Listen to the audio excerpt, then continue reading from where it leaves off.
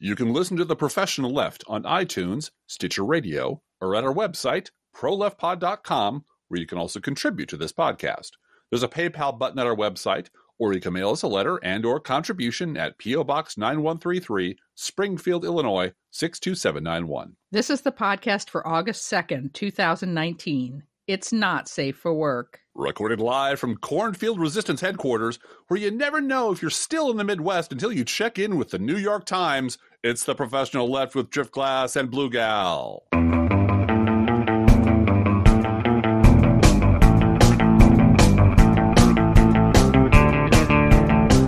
Driftglass. Hey, Blue Gal, I, I, you're sitting in the other room, so you might be in the Midwest and I might not be.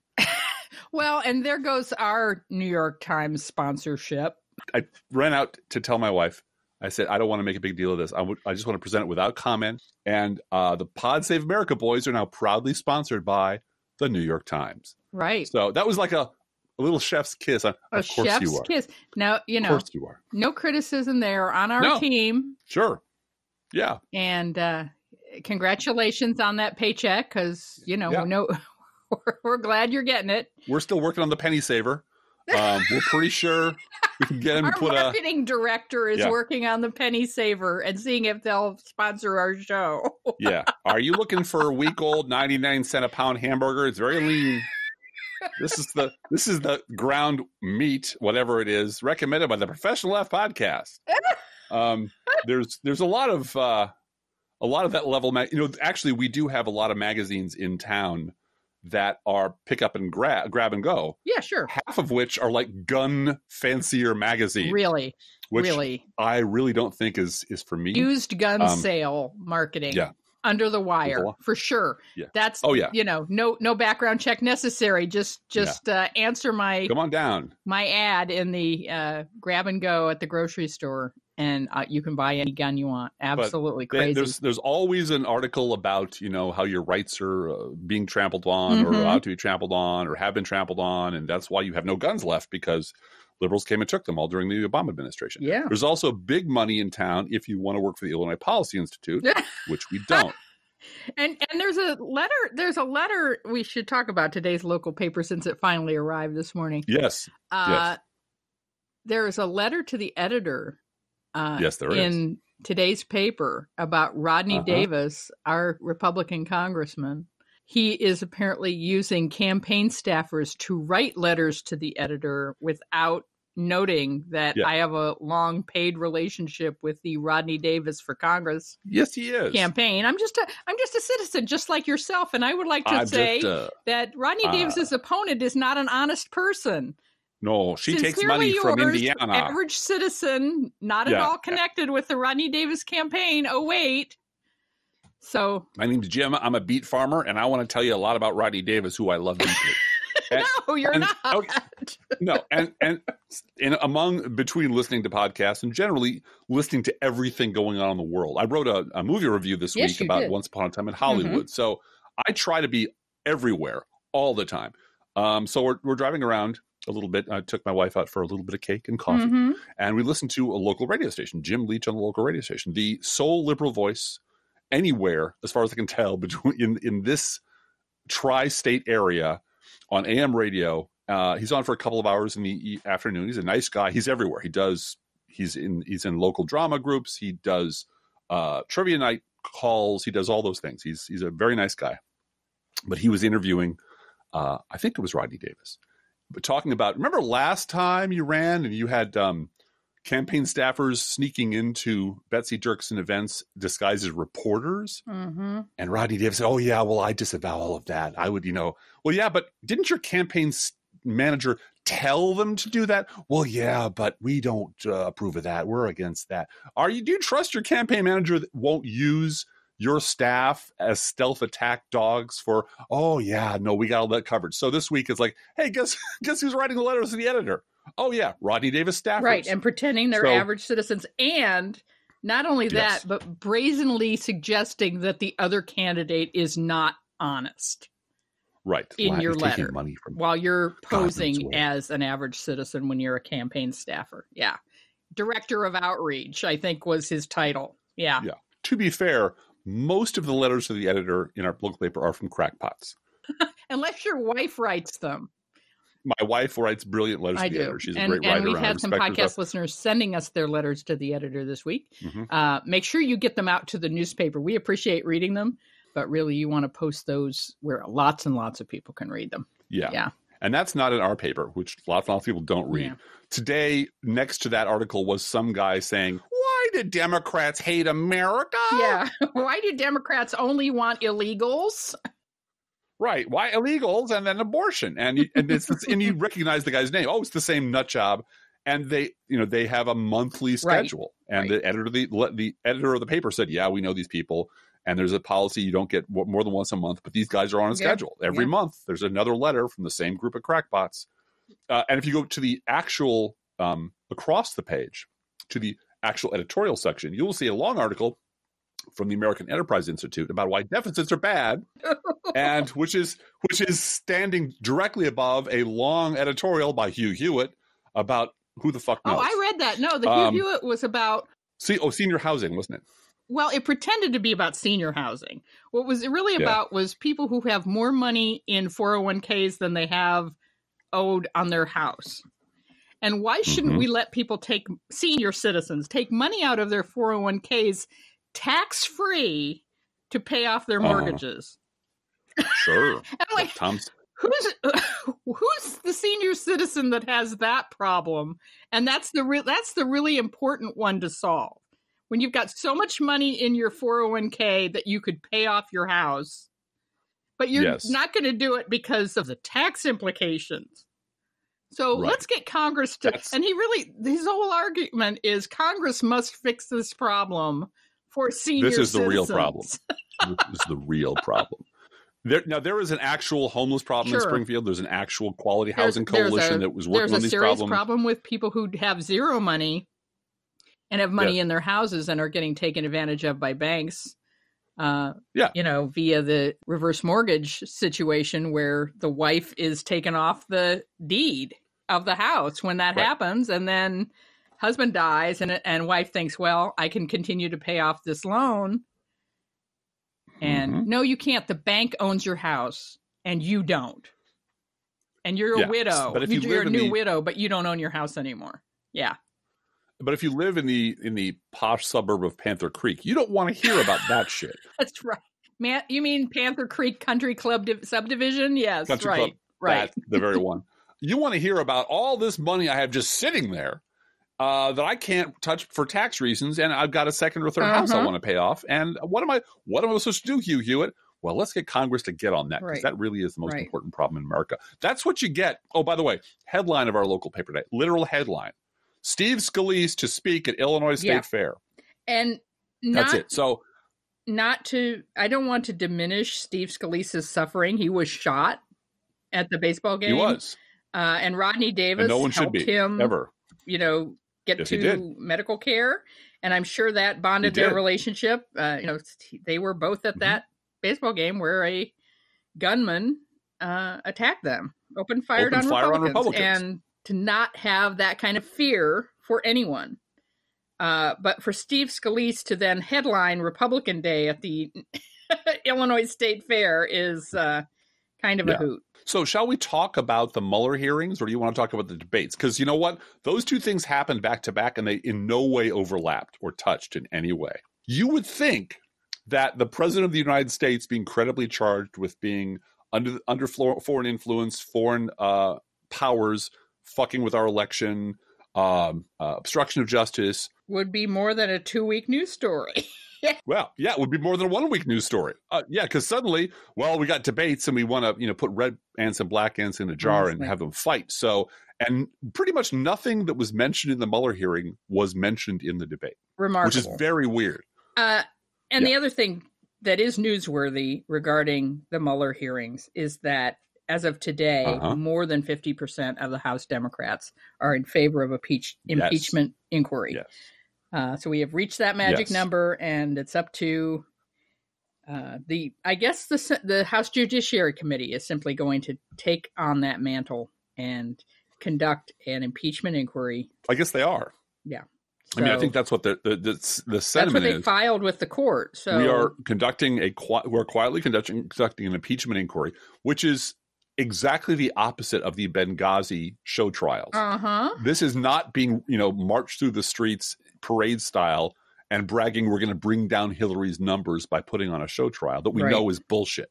This is actual these are actual grown-ups trying to figure out what to do about this criminal and his criminal enterprise in the White House. Right. And the and I, the smartest thing I heard this week, which I can't, I wish I could attribute it. It's probably from four or five different people. Is the reason you want to run impeachment hearings next year hmm is you want them to run right up against the election, and you want because they're going to die in the Senate. Everyone knows that, Right. but you want the issue to be: wait a minute, how are you not conducting a trial in the Senate, a removal trial in the Senate, when this overwhelming wash of evidence says that this guy's guilty? Make that the issue. Make Mitch McConnell's criminal complicity with Donald Trump the issue. hmm Make him Mhm. driving the goddamn getaway car the central campaign issue of next year.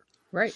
And Right. that's that's a uh, that's a perfectly that's a, a strategy that requires patience, and I it, it irritates the shit out of me. Uh, but you know, I can see I can see the purpose of it. has, Um, has anything caught on this election season faster and harder than Moscow Mitch? no, No. and for that, and we I have to give Joe thank we have Scarborough. to thank Joe Scarborough for that. Yeah, Yep. it's, it Now, hurts me to do it, but yeah, it sticks. Oh no, Yeah. he credit where it's due. It, that that's that will hit, and that's stuck, and that will stick, and that's not going anywhere, and that's going to become something. Well, that's now something that Mitch McConnell took to the uh, floor of the Senate to complain about, which Right. Mitch McConnell never does, because Mitch McConnell just sits in the back and kills anything that comes his way and doesn't talk about it. And whenever he gets any questions, which is almost never, he just issues a statement about Democrats hate America, Democrats despise America, the radical left, and he walks away with Mhm. no follow up questions from whoever the hell the children are who have microphones in their hand. Um, it's always in the same position. It's always the same tone of voice. Uh, it's impossible to rattle him because he knows his job. His job is to kill anything Democrats try to do and blame Democrats for everything. And the other thing that was demonstrated this week, which was also demonstrated very clearly last week, is that um, this is the both in the debates and the post debate spinning. The media has learned absolutely nothing from 2016 Yep. at all. They have learned, they have taken no lessons away from how uh, wretchedly they covered the presidential election last time. absolutely, and Uh, and it's- it's they stunning. also really truly do not want any more healthcare reform No. on a national Well, that's pretty clear. at all. Yeah. Uh, for them, change is radical and uh, dangerous and and and socialist, right? Right. Any change at all from the status quo is a socialist threat to their well being. Right. Right. And that is that was how how most of the questions were framed. hmm Um, basically, how have you stopped beating your healthcare system yet? Have you, Mhm. you know? Have, why do you want to kick uh, all these people off their healthcare and drive them into the in, into the sea? hmm Why why do you why you're putting your radical socialist agenda ahead of ahead of the good of the American people? Right. You have 30 seconds to answer. Blue Gal, go. Uh huh. and yeah. and we'll pitch a third of these questions to John Delaney, and he will just stand there and blink rapidly and talk about the market. Yeah. Yeah. Um, And and the good news is that uh, it, John Delaney was reduced to ash by uh. Elizabeth Warren in about in He her was. 30 second answer. so The Delaney mentum that is being manufactured by the media looks suspiciously like the Santorum mentum yes, right. um, from years gone by, where look, he's not obviously crazy. He he is he carries most of our values in his back pockets. We don't want the crazy socialists who are going to raise our taxes to give stuff to other people um, to to have any quarter at all ever in these debates. So we're just going to push him and push him and push him. well, because and- everyone on that stage who's not running for president and John Delaney Uh huh. own pharma stocks Yes, they do. and depend on pharma advertising. Mhm. I was very grateful to Bernie Sanders I for bringing up. You're going to have America's pharmaceutical companies Mhm. advertising on this debate. And lo and behold, Yeah, they sure did. Yeah, and it was just that. I mean, Bernie did very well. yes, he did. Um, and Elizabeth Warren did very well. and they didn't go after each other, which was was a good thing. I mean, just stand stand tall for what you believe in. But if I And- may, if I may make one radical uh, observation, Yeah, the real winner in this debate was America. No, America. no, no, no. The America got screwed in this debate. It was just, it was a horrible, horrible format. The questions were all tilted to one end. Um, the the answers were just you know you have 30 seconds go. It was just dumb and awkward, and and the pacing was stupid. But the real winner, the real winner was uh, Barack Obama. Yeah. Uh, Barack Obama won the debates because the Democratic Party now believes health care is a basic human right. and and- I want to say something in defense of these debates too. It was for me Yes. so refreshing to listen to adults discuss how we get to a shared goal of universal coverage and lowering costs and have interfamily strong from the from your own standpoint of what will work and what won't Yep. discussion and debate about healthcare Yes. As opposed to hearing the so-called president of the United States saying the blacks love me they all called me on my personal number Blacks all love me. They just love me. they love me All the blacks except for Will Hurd, who doesn't love me, but he's not a real Republican anymore. and all of a sudden you have these actual i mean and yes there are exceptions on that stage we all know who they are but when you have people who and I, and I I include Joe Biden in this as well. If you look at Harris and Biden and Warren and Sanders, those four have all come out with healthcare plans. Uh huh. And if Yeah. and if the I, if you put the four of them in the room and said, okay, in 24 hours you got to come up with something that's going to pass the Congress and in 2021, and whatever comes out of Yeah. that is going to be so much better. A than what we have, and B than whatever it's going to be. It's going to be what Donald Trump promised in 2016. Is what it's going to be. Yeah, I know, I know. But the idea that we've gone from having a um, government option being sort of a wild lefty idea to being the bare minimum Yeah. is wonderful. That's wonderful. That's amazing. That's amazing progress. Stop for a minute and think about how far this discussion has gone in four years. Right. And think of how many people lost their their seat in the House and knew they were going to lose their seat because they took that vote. Think of how many how many Democrats embarrassed themselves and made me ashamed to be a Democrat for running away from Right. the Right. healthcare as an issue when Barack Obama was fighting for it. Think of all the people who shit all over him because he couldn't force blue dog Democrats to become blue, solid blue socialists overnight because they're never going to do it. And all of the people who had veto power and chokehold power and and poison pill power over every step in the process. Now, it, I I agree with the goal, but shaking your finger and say we're going to have a revolution is not an answer to that problem. Well, that's it. It's inspirational, and that's what the president has to be. Right? Exactly. Yeah. And so I am thrilled that we have a bunch of Democrats who all agree that healthcare is a human right, that the current system is a is an improvement over the old one, but still sucks ass, and it needs to be improved markedly. And that I agree with Elizabeth Warren. Why are you running for president to say what you can't do and what you won't fight for? Right. That's nuts. Yeah. That's not why anyone should run for president.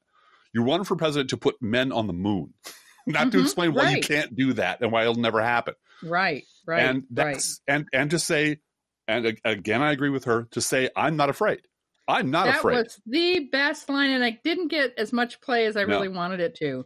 No. When she looked at the camera and said, "I'm not afraid," uh, women across the country cheered. they did Uh, in my house they did that's for sure yeah, yeah, I'm not afraid. That is Mhm. key to this to winning this for sure. and and the Uh, reaction the reaction from all of the never trumpers and all of the pundits and all of the you know slow down don't run with scissors don't go too fast don't do anything don't do anything don't do anything that would would offend the sensibilities of tom friedman Mhm. Everyone's that is born out of terror, uh, uh, of a cringing, residual 30 year beltway reflex of anytime Republicans, you know, jump at you, you flinch and hide in the corner. And that is a, a reflex that the beltway media will have until they die. And the only way to do that, I, I will repeat myself now, is to make sure the beltway media is more afraid of liberals than they are of conservatives. All right. I'm going to read a quote to you from um, David Brooks' op ed, basically endorsing Marianne Williamson for president. No. Man, we could really use your voice out there in the progressive causes. Why are you always talking about David Brooks? And I, I knock doors for candidates. I, I will phone bank for candidates. I will raise money for candidates. I've done all those things. I will volunteer on good causes, which I do. I will teach Sunday school, which I do, and I will do photoshops of glorious things, and I'll write all kinds of stuff about all kinds of people, and I'll write movie reviews. But you know what I'm going to do with, in addition to all of those things, I'm going to be the only person in this fucking country who has taken David Brooks seriously as a threat to democracy for 15 years, and and has had a steady through line for 15 years saying, "I'm telling you guys." This is what the Beltway media looks like and smells like, and this is why things are broken. So please continue.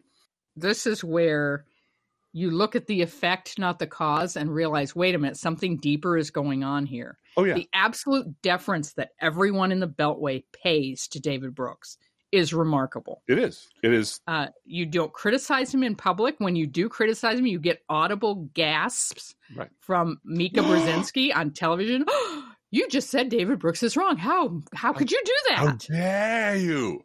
Yeah, yeah, and and that is what is telling to me about David Brooks. It's not so much what he says, and Oh. to me, he's kind of boring and milk toast. So- but he goes everywhere. He has unlimited budget to do whatever he wants. If he wants to go on a hundred and sixty thousand dollar vacation and write eight hundred words about it, Mhm. the New York Times says, "Great, write it off."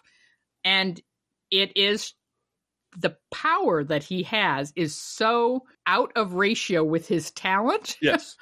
or his output. Right. That something else is going on there. Well, and if, if he were a baseball, if he were a football player, okay, Mm-hmm. um, and if he were a place kicker, and that's what he did well. He was a special Mhm. teams guy. You know, once in a, once, twice, three times in a game, you got to call him in to do this one thing he does really well, and that's why Mhm. we pay him a shitload of money. But he spends most of his time on the bench.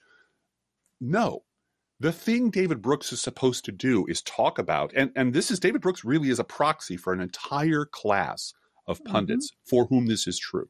This is Bret Stephens. This is Michael Gerson. This is Joe Scarborough most of the time. This is David Brooks. There's a long, long list.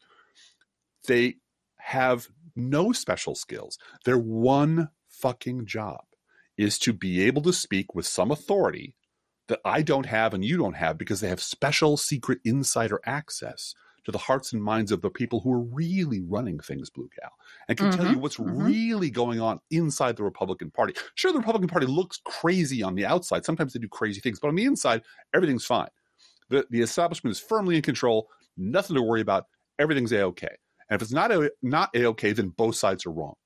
And that's it. That's that is their entire job. That is what David Brooks get paid more in, in a year than I will see in a lifetime to do Mhm. that one job twice a week, not five times a week. Mike Royko did five columns a week, twice a week. And for 15 years, David Brooks has never fucking been right once. Mhm. Never. Mhm. He is ne- he's all and he's always wrong in the same way. Uh, Michael Gerson is always wrong in the same way. Kathleen Parker always wrong in the same way. Peggy Noonan always wrong in the same way. And there's this collective um, conspiracy. There's really no other word for it. Mhm. Conspiracy to make sure these people never are without a massive media platform to puke out their opinions and are never questioned by anyone and are never in a position where anybody can question them. We're always going to put you across from Mark Shields, who will never ask you anything. We're always going to put you across from EJ Dionne, who knows that his job is over the minute he says, Well, David, remember last year when you said the exact fucking opposite thing? That's the last time you'd ever hear from Yeah. EJ Dionne. That's I want to know what special powers these people have. Who the fuck do they know? How what do they have on people? I know why Lindsey Graham behaves this way.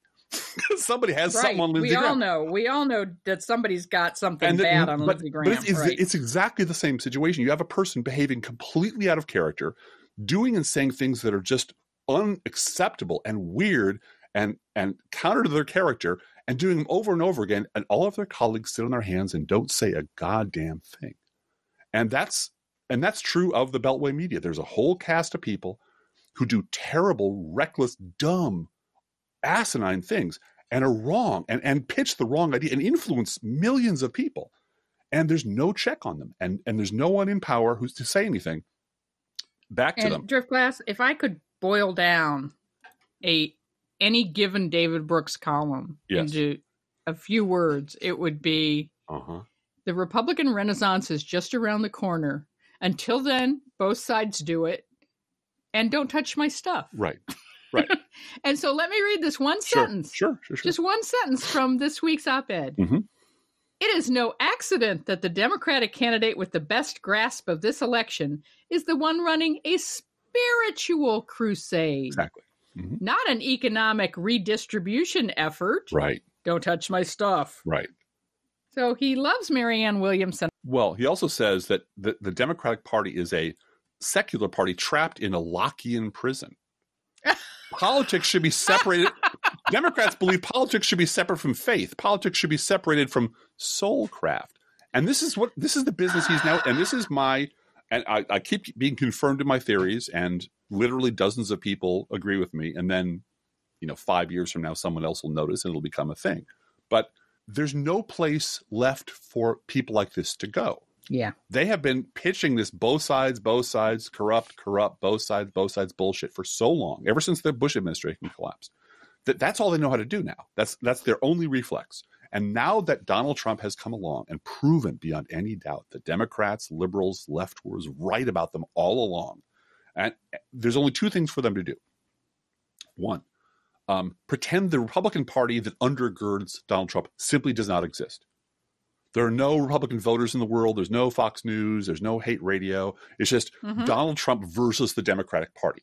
And that's what David Brooks did two weeks ago. He simply made the Republican Party disappear. An entire column about Donald Trump that never mentioned the GOP once, never mentioned the Republican Party once. He's just a singular, anomalous figure that came out of nowhere, will disappear into nothing, and has no connection to David Brooks's political party, which is a gigantic lie and should have gotten him fired immediately. But the Sulzberger family likes their neoconservative pets, so he gets to keep his job forever. So that's step one. Pretend the Republican Party doesn't exist. Didn't didn't didn't create Donald Trump. And so Right. that leaves you with only one party to talk about, which is the Democrats. And everything about America that needs fixing must be done by the Democratic Party. And so every time, and I have this in a post I haven't done yet, every every column from these people now becomes a letter to Santa Claus. Dear Santa Claus, my name is Davy Brooks. Thank you for bringing me that job at the New York Times where I get to write the same goofy shit over and over again and they still pay me a lot of money. Also, thank you for the new wife to replace the old one I broke. She's working out great. this year, this year I've been a very good boy. So for Christmas, I would like this is an exact quote from today's column Democrats to rebuild the moral infrastructure of our country. Also, I would like Democrats to, and this is an exact quote, lead an uprising of decency. Yeah, that's not too big of an order, I suppose, for Democrats to do. Oh, and everyone on Twitter had a whole lot to say to David Brooks about decency. Like, don't sleep with your with your research Yeah. assistant. Well, I, you will not hear me say that. yeah, Um, what you will hear me say is, you know what? We did that for eight years. yeah, It was called the The Obama, Obama administration. administration. Exactly. Remember what happened Yeah. to Barack Obama? Remember what you wrote about Barack Obama? That's why memory is the liberal I've been superpower. gypped. I've been ruined. yeah, he I- said, all of he's my really faith shook- in him is over. and and Jonathan Chait wrote a wonderful column about how no matter what Barack Obama position he takes, he takes exactly the position the centrists wanted to take, and the centrists just move the center.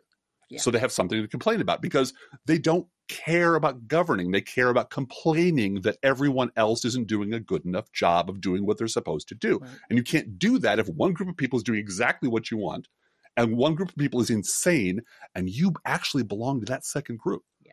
So David Brooks is now getting into the faith healing business Mm-hmm. mm-hmm. because there's no there's no politics for him to talk about anymore. There's nothing to discuss. The Republican Party is a disease. It needs to be eradicated. It needs to be put into a jar and starved of electoral power until it's no more. Well, drift That class, is the drift class. I, you know, in some respects, David Brooks is smarter than Sarah Palin in that regard. Then, Well, because true. I've long said that if Mhm. Sarah Palin had simply quit politics and gone the Crystal Cathedral route, you know, Mhm. visited Baptist churches and done tours, book tours, and T-shirt tours, and uh, talked about the the preciousness of life and how great Jesus is to her, blah blah blah. She'd be a billionaire by She now. would be. She would be. She'd be a beloved.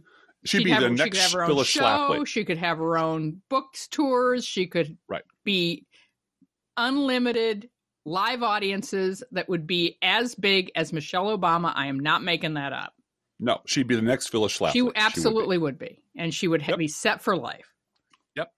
Uh, but she wasn't religious enough for that. I think she No. she she recognized that that would be faking it, and I don't Mm-hmm. think she thought that she could do that. She could fake being actually knowledgeable about politics and government for six months, but uh, not about that.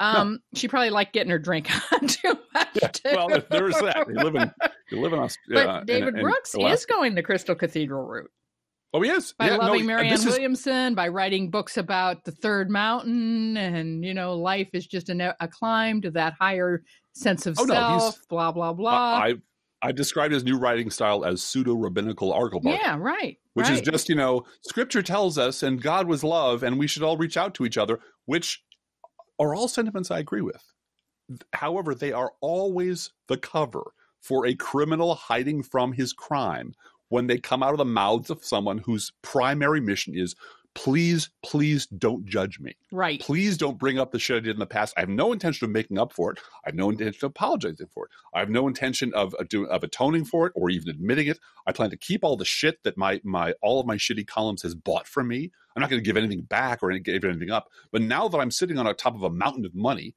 and I'm approaching, you know, the the end of my middle age, I would very much, and that everything liberals said was going to happen has happened, and I and I have been shown to be completely fucking wrong about everything. I'm going to adopt a philosophy where no one is judged Right.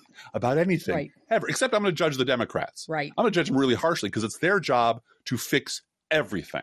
All right. And, and this is a really, this is Yeah. a no, and I'm not, again, I'm, not, I'm talking about the entire media.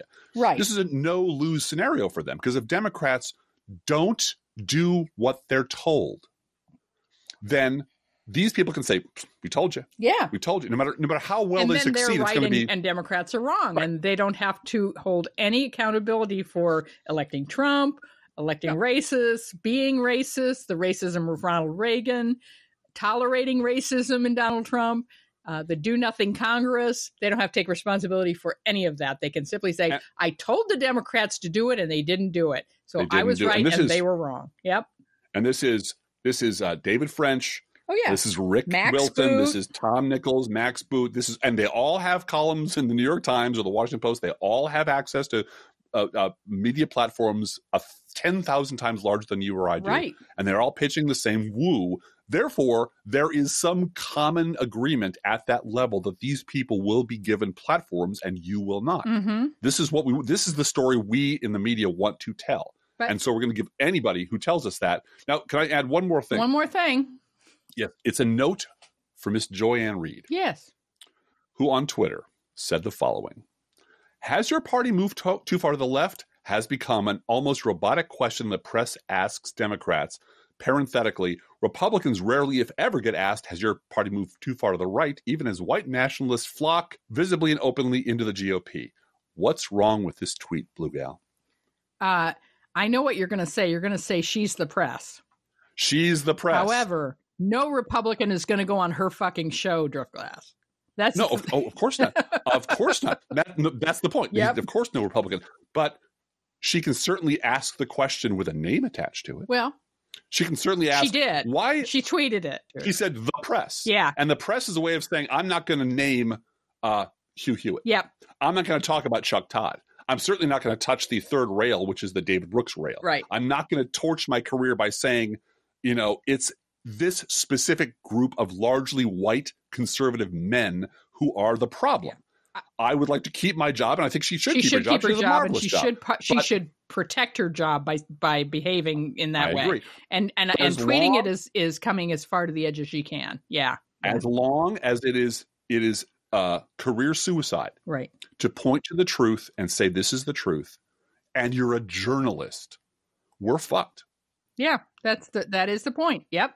If you can't call a racist a racist, Yeah. then then there's no point in having journalism. If you can't state a fact as a fact, there's no point in pretending. You just said call a racist a racist, and I want to point Right. out an article in the Atlantic that came out, I believe, well, certainly came Oh. out in the last two days because it's dated. Are you going to shatter some of my mythologies that I live and die by, Blue Guy? Are you No. going to destroy my? This is by Elaina Plott, and it, Uh-huh. she went to the Trump rally last night in Cincinnati. Uh-huh. So it came. It's Oh, from okay. today, Okay. and uh, she spoke to two women at the Trump rally.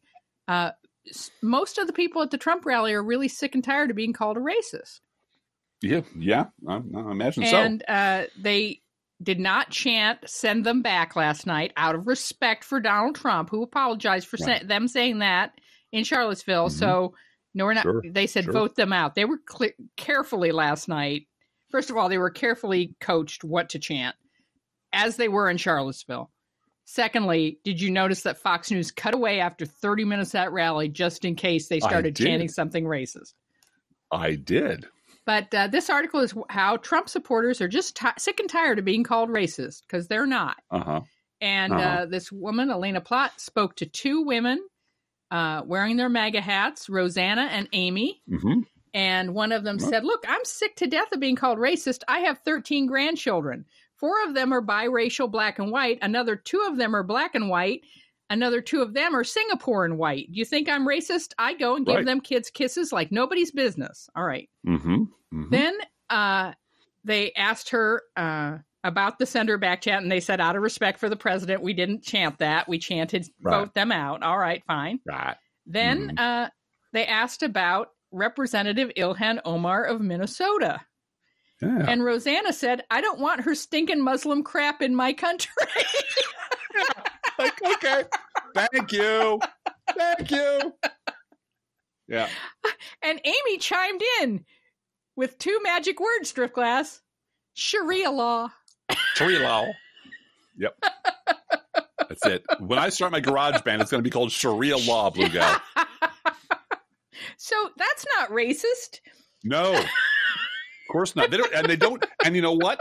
Whatever part of their brain is supposed to draw that connection is just dead. No, it, they don't It just see that as They a don't see it. problem, you know, because they love their Singapore and white. That's how she Uh-huh. she's with it. Singapore and white. Yeah, I got Singapore. I I got, got, a a white. I got a Singapore brown and over white there. grandchild Mm. and a black and white grandchild and biracial black. I don't know what Mhm. The difference is between black and white and biracial black and white, but she made a distinction between those It's two. important for her to say that. So, Mhm. uh, Uh-huh. anyway, yeah. The, Uh, I don't it- want her stinking Muslim crap in my country is a perfectly okay thing to say to a reporter out loud Mhm. while supporting Donald Trump. look, we And held I'm sick of being called all- racist. We held it in all rally. We didn't ask for them to be driven out of the country and go back. We, I mean, it's like having your belt on at Thanksgiving. Okay, Yeah. I cinch it all the way up. I gotta let it out. Mhm. I gotta let, and they do, and Yeah. they do, and this is why, honestly, um, on this kind of subject, on the on, on this large political uni- universe, it is pointless to talk to these people about anything Yep. because they their brains are just wired this way, and they're going to stay wired this way forever. They're just not going to ever. They're not going to ever come to terms with the fact. Oh God, I am a racist. Yeah. Holy shit, I am a racist. What about? I I guess I shouldn't have said all those things. Those were all wrong. Um, I'm glad she has a, a whole spectrum of grandkids. I hope they get raised up to become decent Americans who have a clean air and clean water and health care and good schools. And I want all those things for her family. Mhm. But she's a fucking racist. And the fact that she doesn't understand what that word means, other if you're not in a Klan hood burning a cross, then you're not a racist, means we cannot have we don't understand the same basic vocabulary of being an American Right. and what American means and what America is doing. I thought, honestly, I thought you were going to ruin my childhood by telling me like Reagan was a racist. I mean, that would just that would just wreck my fucking day. Guess what, Driftglass? No, I- la la la Bedtime- la la la la. la. Bedtime Yes? for Bonzo takes on a whole new meaning when you Yeah, realize that he spoke to Richard Nixon on the telephone yes about United Nations representatives in terms Yes. of simian shoes and so Yeah. forth. Yeah. those monkeys, those monkeys Yeah. who don't even wear shoes. yeah. Yeah. Looks like, I don't know, I'm going to have to sit here and reevaluate all of the nice things I've said about Reagan over the years. It turns out maybe, and I hate to loop back to David Brooks, but I seem to remember him having a whole shit fit several years ago uh, over the Philadelphia, Mississippi speech. Mm-hmm. Um, and, and someone daring, it might have been Charles Blow, I'm not sure. I, it's been it's been a number of years, but a fellow columnist who was currently at the New York Times saying, no, Reagan was a racist.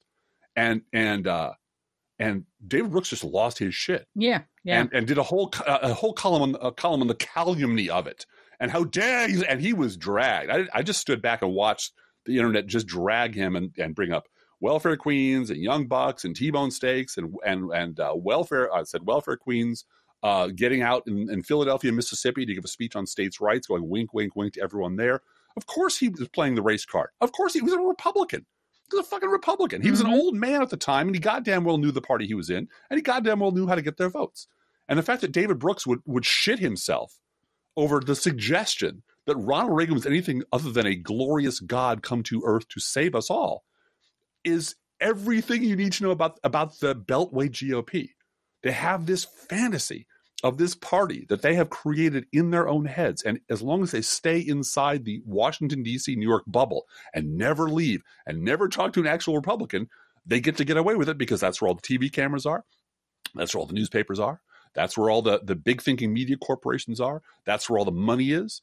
Uh, so they don't need to actually get out in the countryside and verify their theory. They can just fantasize about what the Republican Party would be like if only they were more like me. And everyone on the GOP is a Ed, is an Edmund Burke reading uh, fiscal conservative who thinks deficits are bad. Except that has never been true. And this is the this is that Midwestern joke we made at the very beginning of the podcast, which is there are people who do understand the GOP, who really do, who've been watching them up close for decades, who haven't been wrong about them. Right. And those are the people who actually live here and who've observed up close and written about for years and years and years what to expect in the next election, what to expect from the Republicans this time. And those are the people who are absolutely unwelcome anywhere near a microphone or a camera, anywhere inside the Beltway. Well, and and Which is- the whole East Coast elite media system that Yeah. you know this week really stepped in it by suggesting that John Lewis wasn't from the deep south and Detroit isn't Right. in the Midwest. right, And right. What? You know, he eventually had to delete that tweet, but Um, uh, because he was he was dragged so viciously for being so Mm-hmm. wrong. Uh, but really, there is a a disconnect where if you live in that world and your policy is simply, I want the lowest taxes possible for my income bracket, and Right. that's your policy, then you can be uh, immune, completely immune to to people that like these women at the Trump, Trump rallies. You don't know they exist. David Right. Brooks has never acknowledged that there is a racist base to the Republican Party that doesn't want Never. Muslim shit in their country. Never, never, because it would blow his his his his softcore porn version Right. of republicanism, and and his whole his whole grift, his whole lie is telling the same lie about the republic, and and and all these other guys too have built whole careers, whole media empires have been built telling rich idiots in along the East Coast that the Republican Party of the actual country isn't really the Republican Yeah. Party, and if you have all that kind of money and you really don't want to hear about what's really going on in this country, you can pay for the privilege. Right. Right. You just keep giving them money and say, keep telling me more about those these these sensible centrists who are really they're tens of millions of money. Tell me more about independence and how awesome they are. Tell me more about the the very serious people who are really running the Republican Party. Tell me more how it's gonna be fucking Rubio. Right. Right. And And, how, how up in- decency and morality is really what we need to govern the country. Right. Uh, by which you mean your income tax bracket and Right. education level will insulate everyone from everyone in you- your friends group from the real world. Yeah. And when you go into the, you know, tent revival business, it's suddenly everyone's to Yep. blame. Hmm. Everyone, it's the culture. It's all of us, Blue Gal. It's we. It's everyone who's equally to blame, and we're all corrupted by Donald Trump, and we're all led astray by this shit. And that's again, that's the backup to the backup to the backup lie. The original lie was George Bush is great, and everything's going great in Iraq, and tax cuts will never lead to deficits. That was the that was the earliest one. Mm-hmm. And domino after domino, these same clowns have had to come up with a brand new reason why the Republican Party isn't a shitty, racist, you know, monster factory. And they finally ended up again in the in the in the in the huckster tent, mm-hmm. where they're selling, you know, holy water and Ray and and the fragments of the Reagan True Cross, and now Reagan's a Right. racist. What are they going to do now? Well, they're going to pretend it didn't happen, or it doesn't really matter, or it's somehow just part of the show. And as long as there's enough money to push these people into the spotlight and keep everyone else out, we're stuck here. This is not going to change. This is why Marianne Williamson what has gone on from being praised by David Brooks, and now she's being interviewed by Anderson Cooper, and tonight she's going to be on the Bill Maher show because she's the new ca- cotton Right. candy. She's the new shiny thing. Although I will And- say to Anderson Cooper's credit, that was a really difficult. He made it really difficult for her, and he Mhm. had to, and she deserved it. So, uh, good for him. That he actually practiced well, journalism during his interview with her. Bless, his, bless as opposed to Brian Williams, who said, "Now, next up, Tom Friedman. I'm going to read a lot of Tom Friedman shit." About how the sensible center needs to take control of this crazy socialist Republican Party, Democratic Party, to save Merca. Yeah. And I just, at that point, I just clicked. Yeah. I'm sure there's, you know, a, a rerun of Gomer Pyle on somewhere that will do just as well and will make me angry. But why is Brian Williams this this dope, this complete news reading caricature of a of a of uh, an anchorman on at all? Why is he citing Tom Friedman? Why is any of this shit happening? Well, it's because the people who bankroll the business and who run the corporation want it that way. Well, I did appreciate what you said about Lindsey Graham. Oh yeah, that the Outback Steakhouse commercial is how Lindsey Graham runs his Senate committee. Yeah, no rules, just right and right. Yeah, and going right and right. going to the right, and we're going to go to the right. Yeah, you, you want to uh, expand on that a little bit? It's it was just well, he he uh, had Democrats uh, in the middle of the summer not showing up for his committee hearings, mm-hmm. and it turns out Patrick Leahy actually had to be at a family funeral, so. Uh, you know that that embarrassed Lindsey Graham to find that out. But uh, Lindsey Graham feels that Democrats are avoiding his committee in order to not let him uh, continue to lock up children indefinitely. Right. So he decided to pass a bill out of his committee that locks up children, migrant children, indefinitely uh, by fiat. Right. And which will die in the uh, House, by the way. Which will die in the it House. Will, it will, it's, it will be dead in the House, but right. it will make uh, Ron. It will make Ronald Reagan, Donald Trump, yeah, uh, perfectly happy and feel vindicated to lock up children indefinitely uh, by crim- further criminalizing uh, migrants and asylum seekers.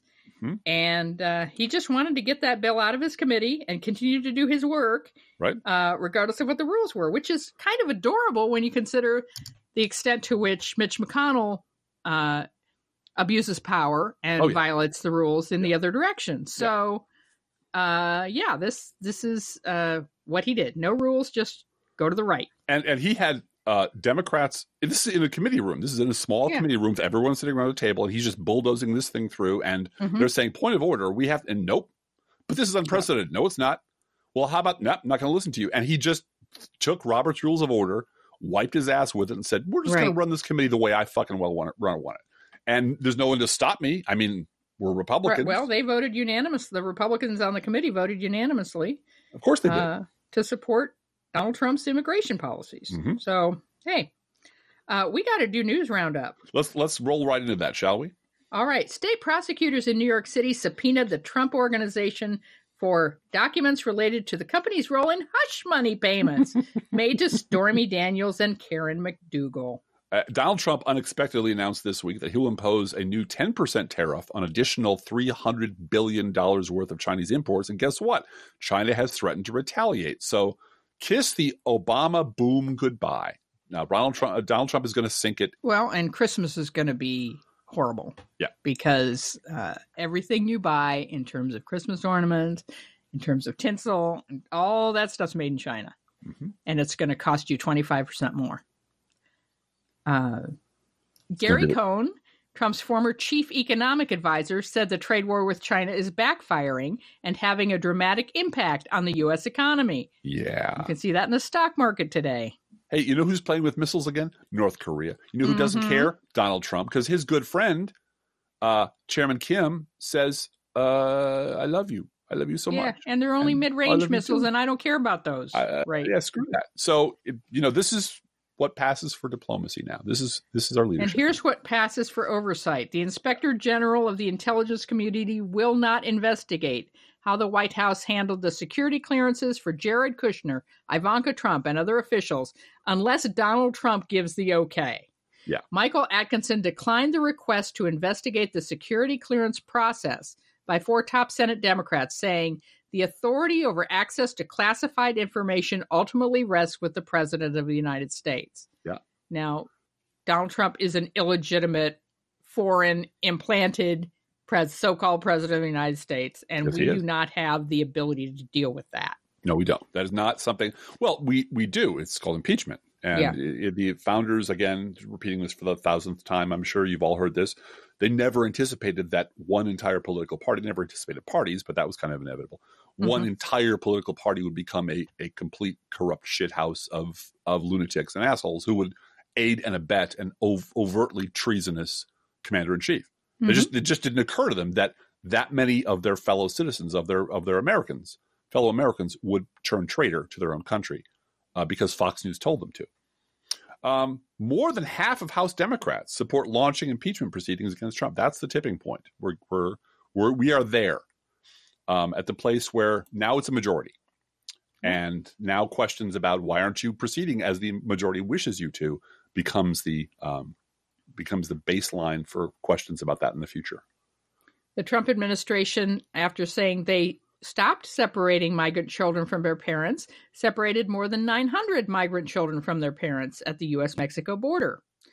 One man lost his daughter because a Border Patrol agent claimed he had failed to change the girl's diaper, and another had his child taken from him because of a property damage conviction allegedly worth $5.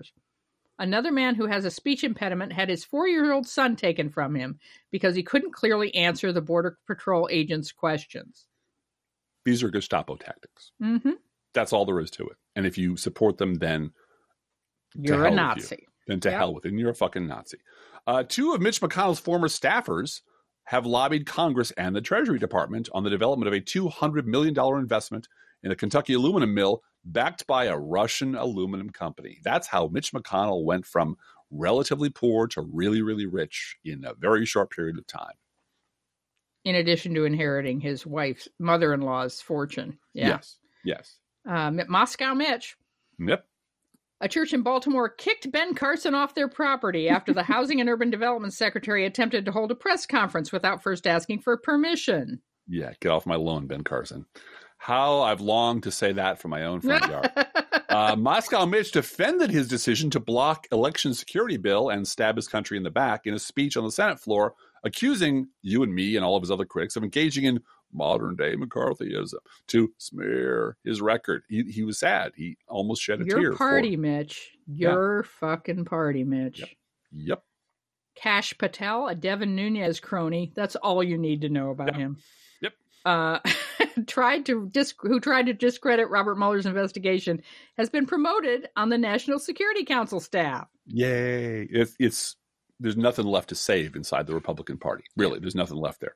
Uh, until today, this is how media pressure actually matters. Until today, John Ratcliffe uh, was Donald Trump's pick for Director of National Intelligence. Don Ratcliffe was a heavy promoter of the now debunked conspiracy theory of an anti-Trump secret society operating inside the FBI.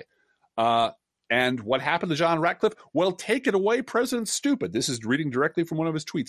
Our great Republican Congressman, John Ratcliffe, is being treated very unfairly by the lamestream media. Yes, Donald Trump is now ripping off Sarah Palin. Mm-hmm. Rather than going through the months of slander and libel, I explained to John how miserable it would be for him and his family to deal with these people. These people being, you know, not traitors, honest citizens who like their, their country back from the traitors who now control it. Um, and this has been a week of just, we're not going to go through them. This has just been a, a shit spray of tweets by a desperate, deranged man in the White House. It's it's too much for me to keep track of, but you flip on the news at any moment and you'll see Donald Trump saying something unbelievably racist, uh, wrong, lying. Just you know, he's the least racist person in the world. I'm the least racist person. I'm the the least world. racist person in the world. Yes, yes. Two weeks before Donald Trump was scheduled to give a key energy speech, his billionaire friend Tom Barrack, who also uh, gave big bucks to his inaugural fund, Yes, he uh, did. gave an advance copy of his speech to a middleman who ran it past the United Arab Emirates and Saudi government officials. Later, Barrack arranged for the edits requested by the UAE officials to be added to the speech with the help of Paul Manafort Wh- and the tech- former campaign uh, chairman of the Trump campaign during the convention, Paul Manafort, uh, who's now in jail. who's now in jail. Oh, And witch hunt. Uh, witch hunt. Yeah. Yeah. And uh, yeah, so we we now have the UAE and Saudis writing our energy policy for money. and in Barrack compl- was planning to make a profit off of this uh, cooperation with them. In completely unrelated news, Blue Gal, the No. Senate failed to override Trump's veto of three resolutions blocking arms sales to Saudi Arabia and the United Arab Emirates. Gosh, go figure. Yeah. We're going to give them nuclear technology. That's Yes, we the, are. That's the bottom line. Yeah. And then we're going to blame the next Democratic president when they blow something up. More than half of the Trump administration's trade war welfare for farmers just went to one tenth of the recipients in the program. Yeah. Let's let's let's go talk to some farmers about how they feel about that vote. Yeah. For four straight days this week, uh, lapping into last week, Donald Trump attacked Elijah Cummings and asserted, without evidence, that black Balmorians really appreciate what I'm doing. He called Elijah Cummings a brutal bully and his Baltimore-based district a disgusting and rat and rodent-infested mess that is quote considered the worst run and most dangerous anywhere in the United States. No human being would want to live there. This is just standard operating procedure for this rancid racist asshole who leads the Republican Party. And uh, Elijah Cummings' house was broken into uh, early this morning. Yep. And uh, Trump tweeted, "Too bad." Too bad. Too he's- bad. He's, a mobster. he's a, he's a monster. He's a fucking monster. And if you're a Republican, you're a monster too. In totally unrelated news, as chairman of the House Oversight and Reform Committee, Elijah Cummings has initiated most of the investigations into the Trump administration. Mhm. Last week, Cummings was authorized to subpoena work related text and emails by White House officials, including Ivanka Trump and Jared Kushner. And boy, are the Republican House members mad that yeah. Ivanka's emails. How dare you? How dare How you, sir? you try to read Ivanka's personal dare you? They're full of porn. You know they are. Um, in in still more unrelated news, Jared Kushner just happens to own more than a dozen apartment complexes in Baltimore that have been cited for hundreds of code violations and provide substandard housing to low income tenants. He's a slumlord. Yes.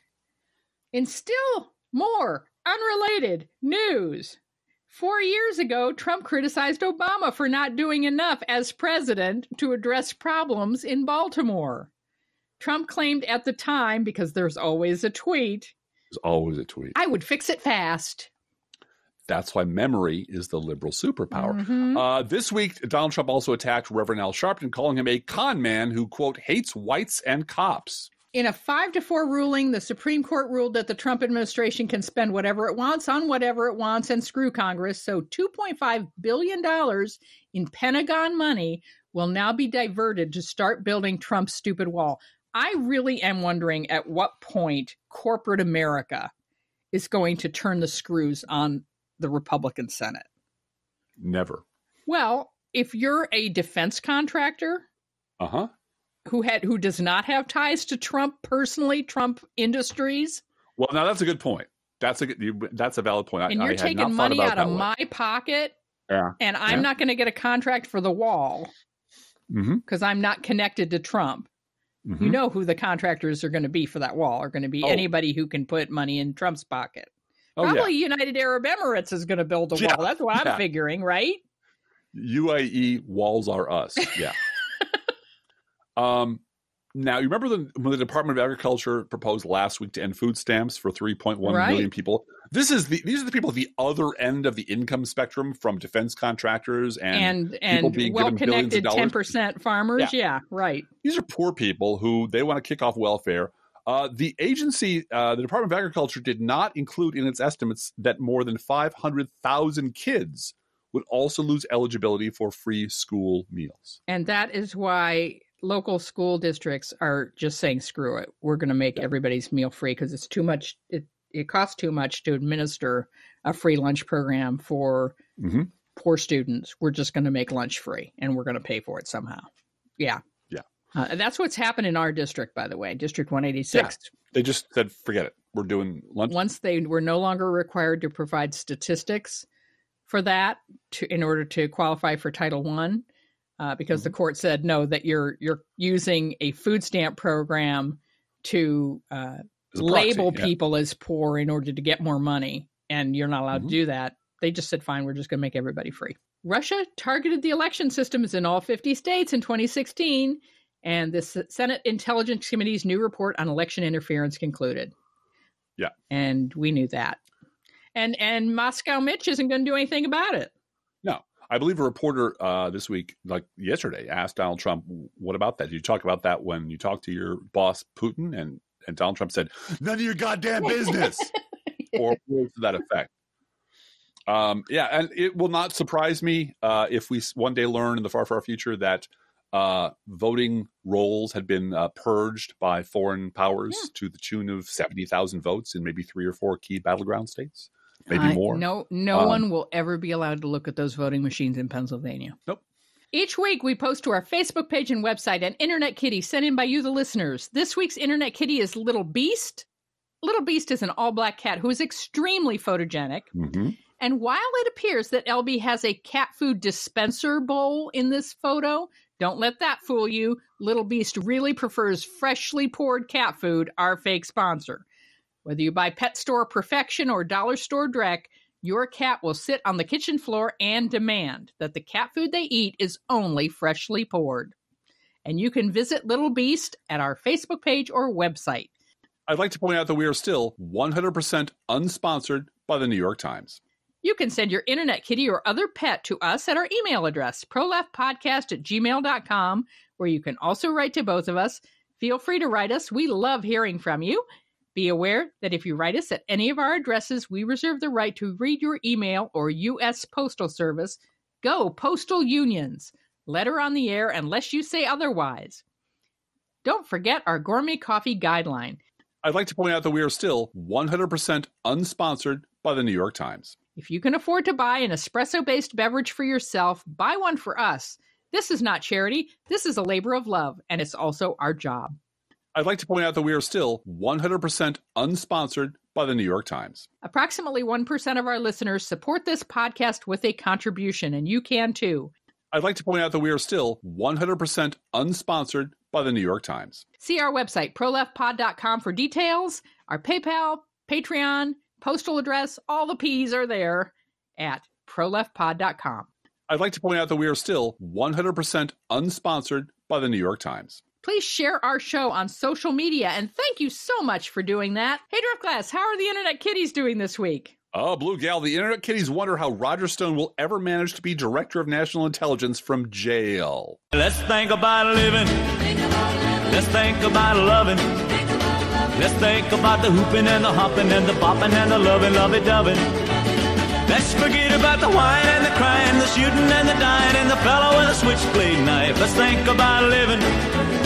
Let's think about life. Professional Left podcast is recorded under a Creative Commons license. Copyright 2018 DJ.